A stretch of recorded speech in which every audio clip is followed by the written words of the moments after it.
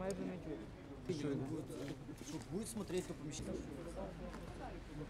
Стосовно головного е, того, що нам закидають опоненти, що ми нічого не, домили, не добилися за 100 днів, я впевнений, що за ці 100 днів ми показали, що Верховна Рада сьомого скликання не буде такою ручною, яка була у шостому скликанні. Ми показали і добилися персонального голосування.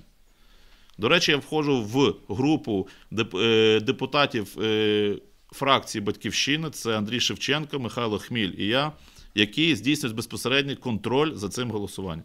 Завдячуючи вам, журналістам, завдячуючи нашим помічникам, які, ну, не побоюся сказати, ризикуючи своїм здоров'ям, ви бачили, які були реакції пана е, Колєснікова, які знаходяться на балконі і фіксують кожне голосування. І вже були факти переголосування після того, як ми підходимо до пана Рибака і вказуємо йому, що голосування йде не персонально. Е, коли ми розпочинали цю акцію, е, щоб це було вже якось цивілізовано, ми зранку підійшли до пана Рибака. Там зустріли по дорозі пана Єфремова, голову фракції партії регіонів, і попередили їх, що створена така група, яка буде відслідковувати. Нас завірили, що регіонали будуть голосувати персонально. Про це е, проводилась профілактична робота на фракції, всі будуть голосувати персонально. Ну, у них така звичка вже.